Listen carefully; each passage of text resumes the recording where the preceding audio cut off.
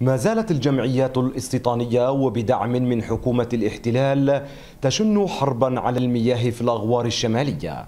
كان آخرها الاستيلاء على نبع خلة خضر في خربة الفارسية ومنع المواطنين من الوصول إليها.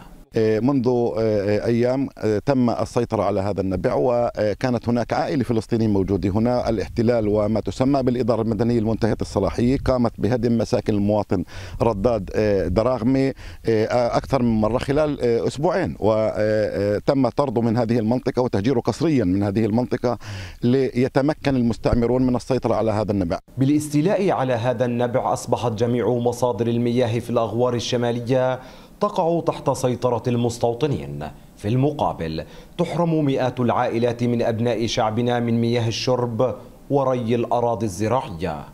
يعني منع الفلسطينيين وحرمانهم من الوصول للمصادر المياه الوحيدة اللي هي الينابيع اللي موجودة في هاي المنطقة. كون كل المياه الجوفية والآبار بتسيطر عليها شركة مكروت والينابيع هي المصدر الوحيد المتبقي اللي بيستخدمه الفلسطينيين للأغنام والسكاية أغنامهم ومواشيهم وللاستخدامات اللي بيستخدموها في الزراعة. تستغل سلطات الاحتلال والجمعيات الاستيطانية قطاع المياه بالتحديد للضغط على أبناء شعبنا من خلال تقليل المساحات الزراعية وعدم سقي المواشي الأمر الذي يدفع العائلات إلى التهجير. لا مياه لا وجود في الأغوار فبالاستيلاء على هذا النبع أصبح الوجود الفلسطيني يتلاشى وهذا ما يخطط له الاحتلال. من خلة خضر في الأغوار الشمالية. أمير شاهين تلفزيون فلسطين.